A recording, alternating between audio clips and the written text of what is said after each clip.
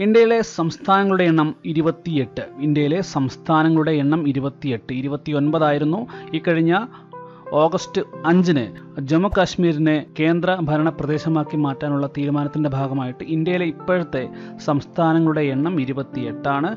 കേന്ദ്ര ഭരണ പ്രദേശങ്ങൾ ഇപ്പോൾ നിലവിൽ ഒമ്പതാണ്. അതിൽ മൂന്ന് കേന്ദ്ര ഭരണ പ്രദേശങ്ങൾക്ക് സ്വന്തമായിട്ട് നിയമസഭയുണ്ടാകും. ഒന്ന് ഡൽഹി മറ്റൊന്ന് പുതുച്ചേരി മറ്റൊന്ന് ജമ്മു ആൻഡ് കാശ്മീർ. ലഡാക്ക് സ്വന്തമായി നിയമസഭയില്ലാത്ത ഒരു കേന്ദ്ര ഭരണ പ്രദേശമായിട്ട് മാറുകയാണ്. ഓക്കെ അടുത്ത പോയിന്റിലേക്ക് നമ്മൾ പോകുന്നു. ഇന്ത്യ സ്വതന്ത്രമായ ദിവസം. നമുക്കെല്ലാവർക്കും അറിയാം നയന്റീൻ ഫോർട്ടി സെവൻ ഓഗസ്റ്റ് പതിനഞ്ച്. എന്നാൽ ഇതേ ദിവസം സ്വതന്ത്രമായ രണ്ട് രാജ്യങ്ങൾ കൂടെയുണ്ട്. ഒന്ന് സൗത്ത് കൊറിയ മറ്റൊന്ന് ആഫ്രിക്കൻ രാഷ്ട്രമായ കോങ്കോ. ഓക്കെ അപ്പോൾ ഇന്ത്യ സ്വതന്ത്ര ദിനമായ ആയിരത്തി തൊള്ളായിരത്തി നാൽപ്പത്തി ഏഴ് ഓഗസ്റ്റ് പതിനഞ്ചിന് സ്വതന്ത്രമായ രണ്ട് രാജ്യങ്ങൾ കൂടിയുണ്ട്. ഒന്ന് സൗത്ത് കൊറിയ മറ്റൊന്ന് കോങ്കോ. എന്നാൽ പാകിസ്ഥാന്റെ സ്വാതന്ത്ര്യദിനം ആയിരത്തി തൊള്ളായിരത്തി നാൽപ്പത്തി ഏഴ് ഓഗസ്റ്റ് പതിനാലിനാണ്. മൗണ്ട് ബാറ്റൺ പദ്ധതി പ്രകാരമാണ് ഇന്ത്യയും പാകിസ്ഥാനും രണ്ടായിട്ട് ഡിവൈഡ് ചെയ്യുന്നത്. ഓക്കെ നമുക്കറിയാം എണ്ണമറ്റ സമരങ്ങൾക്ക് ശേഷമാണ് ഇന്ത്യ സ്വാതന്ത്ര്യം ബ്രിട്ടനിൽ നിന്ന് നേടുന്നത്. അപ്പോൾ അതിൽ വളരെ പ്രധാനപ്പെട്ട ഒരുപാട് സമരങ്ങളുണ്ട്. അതിൽ ഏറ്റവും പ്രധാനപ്പെട്ട സമരങ്ങൾ നമ്മൾ ഡിസ്കസ് ചെയ്യുന്നു. ഒന്ന് ആയിരത്തി എണ്ണൂറ്റി അൻപത്തി ഏഴിലെ ഒന്നാം സ്വാതന്ത്ര്യ സമരം. ആയിരത്തി എണ്ണൂറ്റി അമ്പത്തി ഏഴിലെ ഒന്നാം സ്വാതന്ത്ര്യ സമരം. ഇതിനെ ശിപ്പായി ലഹള എന്നും പറയാറുണ്ട്. ആയിരത്തി എണ്ണൂറ്റി അമ്പത്തി ഏഴിലെ സ്വാതന്ത്ര്യ സമരത്തെ ശിപ്പായി ലഹള എന്ന് വിശേഷിപ്പിച്ചത് വി. ഡി. സവർക്കറാണ്. എന്നാൽ ഈ അടുത്ത കാലത്ത് കേന്ദ്ര സർക്കാർ ആയിരത്തി എണ്ണൂറ്റി അമ്പത്തി ഏഴ് സമരത്തിന് പകരം ആയിരത്തി എണ്ണൂറ്റി പതിനേഴിലെ പൈക്ക റിവോൾട്ടാണ്. പൈക്ക റിവോൾട്ട് ഒറീസയിലെ തദ്ദേശീയർ ബ്രിട്ടീഷുകാർക്കെതിരെ നടത്തിയ സമരമാണ്. പൈക്ക സമരം പൈക്ക റിവോൾട്ട് ഇതിനെയാണ് ഇപ്പോൾ ഒന്നാം സ്വാതന്ത്ര്യ സമരമായിട്ട് അംഗീകരിച്ചിരിക്കുന്നതും കൂടി മനസ്സിലാക്കുക ഓക്കെ. നമുക്കറിയാം ആയിരത്തി എഴുന്നൂറ്റി അമ്പത്തി ഏഴ് നൂറ് വർഷം പുറകോട്ടെടുക്കുമ്പോൾ ആയിരത്തി എഴുന്നൂറ്റി അമ്പത്തി ഏഴിലെ പ്ലാസി യുദ്ധത്തിലൂടെയാണ് ബ്രിട്ടീഷുകാർ ഇന്ത്യയിൽ ആധിപത്യം പുലർത്തുന്നത്. ബ്രിട്ടീഷുകാർക്ക് ഇന്ത്യയിൽ അടിത്തറ പാകിയ യുദ്ധം എന്ന് പറയുന്നത് പ്ലാസി യുദ്ധമാണ്. ഓക്കെ അപ്പോൾ ആയിരത്തി എഴുന്നൂറ്റി അമ്പത്തി ഏഴാണ് അതിനു മുമ്പൊക്കെ ഒരുപാട് യുദ്ധങ്ങളൊക്കെ ഉണ്ടായിട്ടുണ്ട്. ആയിരത്തി എഴുന്നൂറ്റി അമ്പത്തി ഏഴിന് ശേഷവും യുദ്ധങ്ങൾ ഉണ്ടായിട്ടുണ്ട്. പക്ഷേ ഏറ്റവും പ്രധാനപ്പെട്ട യുദ്ധം എന്ന് പറയുന്നത് പ്ലാസി യുദ്ധമാണ്. ഓക്കെ ബ്രിട്ടീഷുകാർക്കെതിരെ ഇന്ത്യയിലെ ജനങ്ങൾ ഒരുപാട് സമരങ്ങൾ നടത്തിയിട്ടുണ്ട്. അതിൽ ഏറ്റവും പ്രധാനപ്പെട്ട സമരമാണ് നമ്മൾ പറഞ്ഞത് ഒന്നാം സ്വാതന്ത്ര്യ സമരം ഏറ്റവും പ്രധാനപ്പെട്ടതാണ് ഇനി ഏറ്റവും അവസാനത്തെ അല്ലെങ്കിൽ ക്ലൈമാക്സ് എന്ന് വിളിക്കപ്പെടുന്ന സമരം. സ്വാതന്ത്ര്യ സമരത്തിന്റെ ക്ലൈമാക്സ് എന്ന് വിശേഷിപ്പിക്കുന്ന സമരമാണ് നയന്റീൻ ഫോർട്ടി ടൂവിൽ നടന്ന ക്വിറ്റ് സമരം. ബോംബെയിൽ വെച്ചിട്ടാണ് ഓഗസ്റ്റ് ഒമ്പതിനാണ് ക്വിറ്റ് സമരം സ്റ്റാർട്ട് ചെയ്യുന്നത്. അപ്പോൾ നമുക്കറിയാം ബ്രിട്ടനിൽ നിന്ന് ഒരുപാട് രാജ്യങ്ങൾ സ്വതന്ത്രമായിട്ടുണ്ട്. ഒരുപാട് രാജ്യങ്ങൾ ഈ രാജ്യങ്ങളെല്ലാം കൂടി ചേർത്തിട്ട് ഒരു പൊതുവേദിയുണ്ട്. അത് നമ്മൾ വിളിക്കുന്ന പേരാണ് കോമൺവെൽത്ത്. ബ്രിട്ടനിൽ നിന്ന് സ്വതന്ത്രമായ രാജ്യങ്ങളെല്ലാം കൂടി ചേർന്നിട്ടുള്ള ഒരു പൊതുവേദി അതിനെ നമ്മൾ അറിയപ്പെടുന്നത് കോമൺ വെൽത്ത് രാജ്യങ്ങൾ എന്നാണ്. ഓക്കെ? ഇനി നമുക്കറിയാം ആയിരത്തി തൊള്ളായിരത്തി അൻപത് ജനുവരി ഇരുപത്തിയാറിനാണ് ഇന്ത്യ റിപ്പബ്ലിക് ആവുന്നത്. അതായത് ഇന്ത്യയ്ക്ക് സ്വന്തമായി ഒരു ഭരണഘടന നിലവിൽ വരുന്നത് ആയിരത്തി തൊള്ളായിരത്തി അൻപത് ജനുവരി ഇരുപത്തിയാറിനാണ്. ഇപ്പോൾ ഇന്ത്യ ഒരു റിപ്പബ്ലിക്കാണ് എന്ന് പ്രഖ്യാപിക്കുന്നത് ആയിരത്തി തൊള്ളായിരത്തി അൻപത് ജനുവരി ഇരുപത്തിയാറിനാണ് അപ്പോൾ രണ്ട് കാര്യങ്ങൾ കൂടി അതോടൊപ്പം തന്നെ മനസ്സിലാക്കുക. ഒന്ന് ഭാരതത്തിന്റെ ശില്പി രാഷ്ട്രശില്പി നമുക്കിങ്ങനെ പറയാം രാഷ്ട്രശില്പി എന്നറിയപ്പെടുന്ന വ്യക്തിയാണ് ജവഹർലാൽ നെഹ്റു. എന്നാൽ ഭരണഘടനയുടെ ശില്പി എന്നറിയപ്പെടുന്നത് ഡോക്ടർ ബി ആർ അംബേദ്കർ ആണ് ഓക്കെ? അപ്പം ഇന്ത്യ ഭാരതത്തിന്റെ ശില്പി അല്ലെങ്കിൽ രാഷ്ട്രശില്പി എന്നറിയപ്പെടുന്ന വ്യക്തി ജവഹർലാൽ നെഹ്റു ആണ് ഇന്ത്യൻ ഭരണഘടനയുടെ ശില്പി എന്നറിയപ്പെടുന്നത് ഡോക്ടർ ബി ആർ അംബേദ്കർ ആണ് ഓക്കെ? അപ്പോൾ നമുക്കറിയാം ഇന്ത്യ വലിപ്പത്തിൽ ലോകരാജ്യങ്ങളിൽ ഏഴാം സ്ഥാനമാണ്. വലിപ്പത്തിൽ ലോകരാജ്യങ്ങളിൽ ഏഴാം സ്ഥാനമാണ്. ഇനി ഇന്ത്യയുടെ ഏരിയയാണ് പറയാൻ പോകുന്നത്. മുപ്പത്തി രണ്ട് ലക്ഷത്തി എൺപത്തി ഏഴായിരത്തി ഇരുന്നൂറ്റി അറുപത്തി മൂന്ന് ചതുരശ്ര കിലോമീറ്റർ. മുപ്പത്തിരണ്ട് ലക്ഷത്തി എൺപത്തി ഏഴായിരത്തി ഇരുന്നൂറ്റി അറുപത്തി മൂന്ന് ചതുരശ്ര കിലോമീറ്റർ.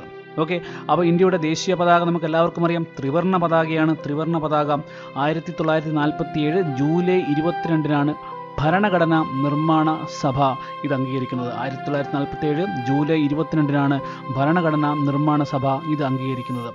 ഇന്ത്യയുടെ ദേശീയ മുദ്ര സിംഹമുദ്ര സാരനാഥിലെ അശോക സ്തംഭത്തിൽ നിന്നാണ് ഈ ദേശീയ മുദ്ര കടമെടുത്തിരിക്കുന്നത്. ഈ ദേശീയ മുദ്രയ്ക്ക് അടിയിൽ എഴുതിയ ഒരു വാചകമുണ്ട് സത്യമേവ ജയതേ സത്യമേവ ജയതേ സംസ്കൃതത്തിൽ ഒരു വാചകമാണ്. മുണ്ടോപരിഷത്തിൽ നിന്ന് കടമെടുത്തിരിക്കുന്ന ഒരു വാചകമാണ് സത്യമേവ ജയതേ ഇന്ത്യയുടെ ദേശീയ ഗാനം ജനഗണമന. ഇന്ത്യയുടെ ദേശീയ ഗീതം വന്ദേ മാതരം ഇന്ത്യയുടെ ദേശീയഗാനം ജനഗണമന ഇന്ത്യയുടെ ദേശീയ ഗീതം വന്ദേ മാതരം. ഇവ രണ്ടും ഭരണഘടനാ നിർമ്മാണ സഭ അംഗീകരിച്ചത് ആയിരത്തി തൊള്ളായിരത്തി അൻപത് ജനുവരി ഇരുപത്തിനാലിനാണ്. അതായത് ഇന്ത്യ റിപ്പബ്ലിക് ആവുന്നതിന് രണ്ട് ദിവസം മുന്നെയാണ് ദേശീയഗാനവും ദേശീയ ഗീതവും ഭരണഘടനാ നിർമ്മാണ സഭ അംഗീകരിച്ചത്.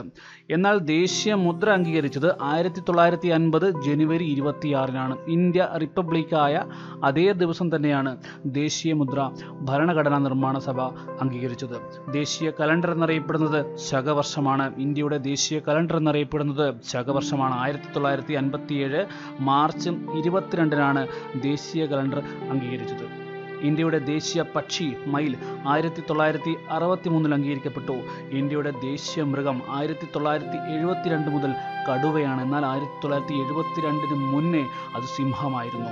ഇന്ത്യയുടെ ദേശീയ പൈതൃക മൃഗം ഓക്കെ ഇന്ത്യയുടെ ദേശീയ പൈതൃക മൃഗം എന്നറിയപ്പെടുന്നത് ആനയാണ്. രണ്ടായിരത്തി പത്ത് ഒക്ടോബർ മുതൽ ഇന്ത്യയുടെ ദേശീയ പൈതൃക മൃഗം ആന എന്ന് അറിയപ്പെടുന്നു.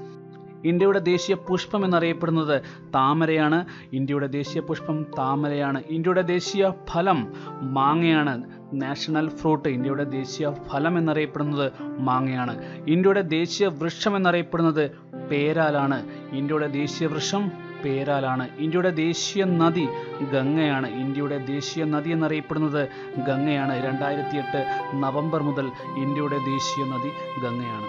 ഇന്ത്യയുടെ ദേശീയ നൃത്തരൂപം ചോദിക്കുകയാണെന്നുണ്ടെങ്കിൽ അത് ഭരതനാട്യമാണ്. ഇന്ത്യയുടെ ദേശീയ നൃത്തരൂപം ചോദിക്കുകയാണെന്നുണ്ടെങ്കിൽ അതിന്റെ ഉത്തരം ഭരതനാട്യമാണ്. ആയിരത്തി തൊള്ളായിരത്തി അൻപതിൽ റിപ്പബ്ലിക് ആയതിനു ശേഷം ഇന്ത്യയിൽ ഒരു പൊതു തിരഞ്ഞെടുപ്പ് നടന്നു. ആ പൊതു തിരഞ്ഞെടുപ്പിൽ കോൺഗ്രസ് പാർട്ടി വൻ ഭൂരിപക്ഷത്തിൽ അധികാരത്തിൽ വന്നു. അപ്പോൾ അടുത്ത ചോദ്യം ഇതാണ് സ്വതന്ത്ര ഭാരതത്തിലെ ആദ്യത്തെ വോട്ടർ സ്വതന്ത്ര ഭാരതത്തിലെ ആദ്യത്തെ വോട്ടർ ശ്യാം ശരണാണ് ഹിമാചൽ പ്രദേശിലെ കിന്നോർ ജില്ലയിൽ ആയിരത്തി തൊള്ളായിരത്തി അൻപത്തി ഒന്ന് ഒക്ടോബർ ഇരുപത്തിയൊന്നിനാണ് അദ്ദേഹം വോട്ട് രേഖപ്പെടുത്തിയത്. സ്വതന്ത്ര ഭാരതത്തിലെ ആദ്യത്തെ വോട്ടർ ശ്യാം ശരൺ.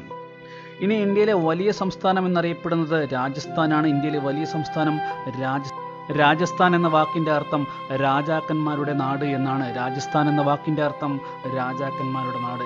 ഇന്ത്യയിലെ ഏറ്റവും ചെറിയ സംസ്ഥാനം ഗോവയാണ്. ഇന്ത്യയിലെ ഏറ്റവും ചെറിയ സംസ്ഥാനം ഗോവയാണ്. ഇനി ഇന്ത്യയിലെ ഏറ്റവും വലിയ ജില്ല ചോദിക്കുകയാണെന്നുണ്ടെങ്കിൽ ഇന്ത്യയിലെ ഏറ്റവും വലിയ ജില്ല ചോദിക്കുകയാണെന്നുണ്ടെങ്കിൽ അത് ഗുജറാത്തിലെ കച്ചാണ്. ഇന്ത്യയിലെ ഏറ്റവും വലിയ ജില്ല ഗുജറാത്തിലെ കച്ചാണ്. ഇന്ത്യയിലെ ഏറ്റവും ചെറിയ ജില്ല അത് മാഹിയാണ്. പുതുച്ചേരിയുടെ ഭാഗമായ മാഹിയാണ്. അത് കേരളത്തിലാണ് അതിന്റെ ലൊക്കേഷനെങ്കിലും ആ മാഹി എന്ന് പറഞ്ഞ ജില്ല പുതുച്ചേരി കേന്ദ്രഭരണ പ്രദേശത്തിന്റെ ഭാഗമാണ്. ഇനി ഇന്ത്യയിലെ ഏറ്റവും വലിയ ലോകസഭാ മണ്ഡലം ചോദിക്കുകയാണെന്നുണ്ടെങ്കിൽ അത് ലഡാക്കാണ്. നമുക്കറിയാം ലഡാക്ക് ജമ്മു കാശ്മീരിലാണ്. ഇപ്പോൾ അത് ലഡാക്ക് ഒരു ഓ, കേന്ദ്രഭരണ പ്രദേശമായിട്ട് മാറുകയാണ്. ഇപ്പോൾ ഇന്ത്യയിലെ ഏറ്റവും വലിയ ലോകസഭാ മണ്ഡലം ലഡാക്കാണെന്നാൽ ഇന്ത്യയിലെ ഏറ്റവും ചെറിയ ലോകസഭാ മണ്ഡലം ഡൽഹിയിലെ ചാന്ദിനി ചൗക്കാണ്. ഇന്ത്യയിലെ ഏറ്റവും ചെറിയ ലോകസഭാ മണ്ഡലം ഡൽഹിയിലെ ചാന്ദിനി ചൗക്ക്. ഇനി ഇന്ത്യയിലെ ഏറ്റവും ജനസാന്ദ്രത കൂടിയ സംസ്ഥാനം ചോദിക്കുകയാണെന്നുണ്ടെങ്കിൽ അത് ബീഹാറാണ്. ഇന്ത്യയിലെ ഏറ്റവും ജനസാന്ദ്രത കൂടിയ സംസ്ഥാനം ബീഹാറാണ് എന്നാൽ ശ്രദ്ധിക്കുക. അപ്പോൾ ഇന്ത്യയിലെ ഏറ്റവും ജനസാന്ദ്രത കൂടിയ സംസ്ഥാനം ബീഹാറാണെങ്കിൽ രണ്ടാമത് പശ്ചിമ ബംഗാളും മൂന്നാമത് കേരളവുമാണെന്ന് മനസ്സിലാക്കുക. ഇന്ത്യയിലെ ഏറ്റവും കുറഞ്ഞ ജനസാന്ദ്രതയുള്ള സംസ്ഥാനം അരുണാചൽ പ്രദേശാണ്. ഇന്ത്യയിലെ ഏറ്റവും കുറഞ്ഞ ജനസാന്ദ്രതയുള്ള സംസ്ഥാനം അരുണാചൽ പ്രദേശാണ്. ഇനി ഇന്ത്യയിലെ ഏറ്റവും ജനസംഖ്യ കൂടിയ സംസ്ഥാനം ചോദിക്കുകയാണെന്നുണ്ടെങ്കിൽ അത് യു പി ആണ്. ഉത്തർപ്രദേശാണ്. ഇന്ത്യയിലെ ഏറ്റവും ജനസംഖ്യ കൂടിയ സംസ്ഥാനം ഉത്തർപ്രദേശാണെങ്കിൽ ഏറ്റവും കുറവ് സിക്കിമാണ്. സിക്കിം എന്ന് പറഞ്ഞ സംസ്ഥാനത്തിന്റെ അർത്ഥം പുതിയ കൊട്ടാരം എന്നാണ്. സിക്കിം എന്ന് പറഞ്ഞ സംസ്ഥാനത്തിന്റെ അർത്ഥം പുതിയ കൊട്ടാരം എന്നാണ്. നമുക്കറിയാം ലോക ജനസംഖ്യയിൽ രണ്ടാം സ്ഥാനത്താണ് ഇന്ത്യ. അപ്പോൾ ലോക ജനസംഖ്യയുടെ പതിനേഴ് പോയിന്റ് അഞ്ച് ശതമാനം ഇന്ത്യയിലാണ്. ലോക ജനസംഖ്യയുടെ പതിനേഴ് പോയിന്റ് അഞ്ച് ശതമാനം ഇന്ത്യയിലാണ്. ഇനി വലിപ്പത്തിലെടുക്കുകയാണെന്നുണ്ടെങ്കിൽ ഏഴാം സ്ഥാനമാണ് ഇന്ത്യയുടേത്.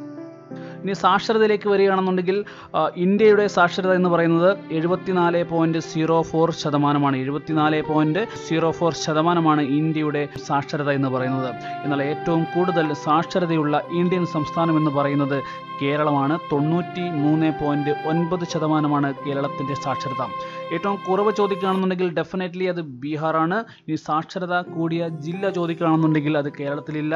അത് മിസോറാമിലെ സർച്ചിപ്പ് എന്ന് പറഞ്ഞ ഒരു ജില്ലയാണ് ഏറ്റവും കൂടുതൽ സാക്ഷരത കൂടിയ ജില്ല.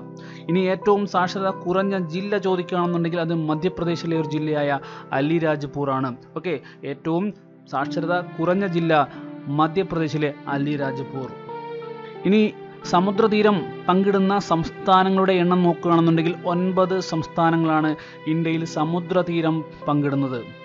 ഏറ്റവും കൂടുതൽ സമുദ്രതീരമുള്ള ഇന്ത്യൻ സംസ്ഥാനം ഗുജറാത്ത് ഏറ്റവും കൂടുതൽ സമുദ്രതീരമുള്ള ഇന്ത്യൻ സംസ്ഥാനം ഗുജറാത്ത് എന്നാൽ ഏറ്റവും കുറവ് സമുദ്രതീരമുള്ള ഇന്ത്യൻ സംസ്ഥാനം എന്ന് പറയുന്നത് ഗോവയാണ്. ഏറ്റവും കുറവ് സമുദ്രതീരമുള്ള ഇന്ത്യൻ സംസ്ഥാനം ഗോവ. ഇനി വനത്തിന്റെ കാര്യത്തിലേക്ക് വരികയാണെന്നുണ്ടെങ്കിൽ ഇന്ത്യയിൽ ഏറ്റവും കൂടുതൽ വനമുള്ള സംസ്ഥാനം മധ്യപ്രദേശാണ്. ഇന്ത്യയിൽ ഏറ്റവും കൂടുതൽ വനമുള്ള സംസ്ഥാനം മധ്യപ്രദേശാണ്. എന്നാൽ ഇന്ത്യയിൽ ഏറ്റവും കുറവ് വനപ്രദേശമുള്ള സംസ്ഥാനം ഹരിയാനയാണ്. ഇന്ത്യയിൽ ഏറ്റവും കുറവ് വനപ്രദേശമുള്ള സംസ്ഥാനം ഹരിയാനയാണ്. എന്നാൽ ശതമാന അടിസ്ഥാനത്തിൽ പറയുകയാണ് സ്റ്റേറ്റിന്റെ വലിപ്പവും ശതമാനവും നമ്മൾ വെച്ച് പറയുകയാണെന്നുണ്ടെങ്കിൽ ഏറ്റവും കൂടുതൽ വനമുള്ള സംസ്ഥാനം മിസോറമാണ്. ഏറ്റവും കൂടുതൽ വനമുള്ള സംസ്ഥാനം എന്ന് പറയുന്നത് മിസോറമാണ്. ഇനി ഇന്ത്യയിലെ ഏറ്റവും പഴയ പർവതനിര എന്ന് പറയുന്നത് ആരവലിയാണ്. ഇന്ത്യയിലെ ഏറ്റവും പഴയ പർവതനിര ആരവലിയാണ്. ആരവലി ഒരു മടക്ക് പർവതമാണ് അഥവാ ഫോൾഡഡ് മൗണ്ടൻ ആണ് ഇന്ത്യയിലെ ഏറ്റവും പഴക്കം ചെന്ന പർവതനിരയാണ് ആരവലി. ഓക്കെ ഇന്ത്യയിലെ മാത്രമല്ല ലോകത്തിലെ തന്നെ ഏറ്റവും പഴക്കം ചെന്ന പർവതനിരകളിൽ ഒന്നാണ് ആരവലി എന്ന് പറയുന്നത്. ഈ ലോകത്തിലെ ഏറ്റവും യങ് ആയിട്ടുള്ള പ്രായം കുറഞ്ഞ പർവതനിരകൾ ചോദിക്കുകയാണെന്നുണ്ടെങ്കിൽ അത് ഹിമാലയമാണ് കേട്ടോ ഹിമാലയത്തിന്റെ പ്രായം വളരെ കുറവാണ് ചെറിയ പ്രായമേ ഉള്ളൂ. അപ്പം ഹിമാലയവും ഒരു ഫോൾഡഡ് മൗണ്ടൻ ആണ് മടക്ക് പർവതമാണെന്ന് മനസ്സിലാക്കുക. ഇനി അതോടൊപ്പം തന്നെ ഒരു കാര്യം കൂടി മനസ്സിലാക്കുക ഇന്ത്യയിലെ ഏറ്റവും വലിയ കൊടുമുടി എന്ന് പറയുന്നത് മൗണ്ട് കേറ്റു ആണ് നമ്മളതിനെ ഗോഡ്വിൻ ആസ്റ്റിൻ എന്ന് വിളിക്കുന്നു. പാക് അധിനിവേശ കാശ്മീരിലാണ് ഇതിന്റെ സ്ഥാനം. അതുകൊണ്ട് തന്നെ പൂർണമായും ഇന്ത്യയിൽ സ്ഥിതി ചെയ്യുന്ന ഏറ്റവും വലിയ കൊടുമുടിയാണ് ചോദിക്കുന്നതെങ്കിൽ അതിന്റെ ഉത്തരം കാഞ്ചൻജംഗയാണ് സിക്കിമിലാണ്. ഇതെല്ലാം ഹിമാദ്രിയിലാണ് location okay Godwin Austen K two എന്ന് പറയുന്നത് കാരഗോറം റേഞ്ചിലാണ് അത് ഹിമാദ്രി റേഞ്ചിലല്ല അത് കാരഗോറം റേഞ്ചിലാണ് വരുന്നത്. ഓക്കെ ഇന്ത്യയിലെ ഏറ്റവും നീളം കൂടിയ നദി ചോദിക്കുകയാണെന്നുണ്ടെങ്കിൽ ഗംഗയാണ്. ഇന്ത്യയിലെ ഏറ്റവും നീളം കൂടിയ നദി ഗംഗയാണ്. ഇന്ത്യൻ ഉപദ്വീപിലെ ഏറ്റവും നീളം കൂടിയ നദി ചോദിക്കുകയാണെന്നുണ്ടെങ്കിൽ അത് ഗോദാവരിയാണ്. ഇന്ത്യയിലെ ഏറ്റവും നീളം കൂടിയ നദി ഗംഗയാണ്. ഇന്ത്യൻ ഉപദ്വീപിലെ ഏറ്റവും നീളം കൂടിയ നദി ഗോദാവരിയാണ്. ഇനി ഏറ്റവും അധികം ജലം ഉൾക്കൊള്ളുന്നതും ആഴം കൂടിയതുമായ ഇന്ത്യൻ നദിയാണ് ചോദിക്കുന്നതെങ്കിൽ അത് ബ്രഹ്മപുത്രയാണ്. വളരെ ഇമ്പോർട്ടന്റ് ആണ്. ഏറ്റവും കൂടുതൽ ജലം ഉൾക്കൊള്ളുന്നതും ആഴം കൂടിയതുമായ ഇന്ത്യൻ നദിയാണ് ചോദിക്കുന്നതെങ്കിൽ അതിന്റെ ഉത്തരം ബ്രഹ്മപുത്രയാണ്. ഇനി ഇന്ത്യയിലെ ഏറ്റവും വലിയ തടാകമാണ് ചോദിക്കുന്നതെങ്കിൽ അത് ചിൽക്ക തടാകം ഒഡീഷയാണ്. ഇന്ത്യയിലെ ഏറ്റവും വലിയ തടാകം എന്ന് പറയുന്നത് ചിൽക്ക തടാകം ഒഡീഷ. എന്നാൽ ഇന്ത്യയിലെ ഏറ്റവും വലിയ ശുദ്ധജല തടാകം എന്ന് പറയുന്നത് വൂളാർ തടാകമാണ്. ജമ്മു കാശ്മീരിലെ വൂളാർ തടാകം. ഈ വൂളാർ തടാകത്തിലേക്ക് ജലം എത്തിക്കുന്ന നദി എന്ന് പറയുന്നത് ജലം നദിയാണ്. ജലം നദി ഒഴുകി വരുന്ന ആ ഒരു പാതയാണ് വൂളാർ ലേക്കായിട്ട് മാറുന്നത്. സോ അത് വളരെ ഇമ്പോർട്ടന്റ് ആണ്. വൂളാർ ലേക്കിലേക്ക് ജലം എത്തിക്കുന്ന നദി ജലം റിവറാണ് ഓക്കെ ഇനി നമ്മൾ അണക്കെട്ടിനെ കുറിച്ച് പറയുകയാണെന്നുണ്ടെങ്കിൽ ഇന്ത്യയിലെ ഏറ്റവും നീളം കൂടിയ അണക്കെട്ട് ഹിരാക്കുഡാണ് ഒഡീഷയിലെ ഹിരാക്കുഡ്. ഈ ഹിരാക്കുട്ട് നദി ഏത് നദിക്ക് കുറുകയാണെന്ന് ചോദിക്കാറുണ്ട്. മഹാനദിക്ക് കുറുകയാണ്. ഹിരാക്കുട്ട് നദി മഹാനദിക്ക് കുറുകയാണ് സ്ഥാപിച്ചിരിക്കുന്നത്. ഇനി ഇന്ത്യയിലെ ഏറ്റവും ഉയരം കൂടിയ അണക്കെട്ട് ചോദിക്കുകയാണെന്നുണ്ടെങ്കിൽ അത് ഉത്തരാഖണ്ഡിലെ തെഹരി ഡാമാണ്. ഇന്ത്യയിലെ ഏറ്റവും ഉയരം കൂടിയ അണക്കെട്ട് ചോദിക്കുകയാണെന്നുണ്ടെങ്കിൽ അത് ഉത്തരാഖണ്ഡിലെ തെഹരി ഡാമാണ്. അത് ഏത് നദിക്ക് കുറുകയാണെന്ന് ചോദിക്കാറുണ്ട് അതിന്റെ ഉത്തരം? ഭഗീരഥി നദിയാണ്. ഓക്കെ ഭഗീരഥി നദിക്ക് കുറുകയാണ് ഈ തെഹരി ഡാം പണിത് വെച്ചിരിക്കുന്നത്. ഓക്കെ ഇന്ത്യൻ പ്രാദേശിക സമയം കണക്കാക്കുന്ന രേഖ എന്ന് പറയുന്നത് എൺപത്തിരണ്ട് പോയിന്റ് അഞ്ച് ഡിഗ്രി കിഴക്ക് രേഖാംശമാണ്. എൺപത്തിരണ്ട് പോയിന്റ് അഞ്ച് ഡിഗ്രി കിഴക്ക് രേഖാംശമാണ്. ഇത് കടന്നു പോകുന്ന പ്രധാനപ്പെട്ട ഈ പ്രദേശമാണ് ഒന്ന് അലഹബാദ്. ഒന്ന് അലഹബാദ് ഉത്തർപ്രദേശിലാണെന്ന് എല്ലാവർക്കും അറിയാം. രണ്ട് കാക്കിനാട. കാക്കിനാട ആന്ധ്രാപ്രദേശാണ്. വളരെ പ്രധാനപ്പെട്ടാണ്. എൺപത്തിരണ്ട് പോയിന്റ് അഞ്ച് ഡിഗ്രിയാണ് ഇന്ത്യൻ പ്രാദേശിക സമയം കണക്കാക്കുന്ന രേഖാംശം. With respect to Greenwich time okay അപ്പോൾ അത് കടന്നു പോകുന്ന രണ്ട് പ്രദേശങ്ങളൊന്ന് അലഹബാദാണ് മറ്റൊന്ന് കാക്കിനാടാണ്. ഓക്കെ ഫൈനലി ഇന്ത്യയിലെ ഔദ്യോഗിക ഭാഷകളുടെ എണ്ണം ഇന്ത്യയിലെ ഔദ്യോഗിക ഭാഷകളുടെ എണ്ണം ഇരുപത്തി രണ്ടാണ് ഇന്ത്യയിലെ ഔദ്യോഗിക ഭാഷകളുടെ എണ്ണം ഇരുപത്തിരണ്ടാണ്. ഓക്കെ സോ ഇന്ത്യയെക്കുറിച്ചുള്ള വളരെ പ്രധാനപ്പെട്ടുള്ള ബേസിക് ഫാക്റ്റുകളാണ് നമ്മൾ ഇന്നത്തെ വീഡിയോയിൽ ഉൾപ്പെടുത്തിയിരിക്കുന്നത്. ഈ വീഡിയോ നിങ്ങൾക്ക് ഇഷ്ടപ്പെട്ടാൽ തീർച്ചയായും ലൈക്ക് ചെയ്യുക ഷെയർ ചെയ്യുക ആൻഡ് ഓൾസോ പ്ലീസ് സബ്സ്ക്രൈബ് താഴെ കാണുന്ന ബെൽ ബട്ടൺ പ്രസ് ചെയ്യാൻ മറക്കണ്ട. അങ്ങനെയാണെന്നുണ്ടെങ്കിൽ ഞങ്ങളുടെ നെക്സ്റ്റ് വീഡിയോ നിങ്ങൾക്ക് നോട്ടിഫിക്കേഷനായിട്ട് ലഭിക്കുന്നതാണ്. Here we are winding up till then bye bye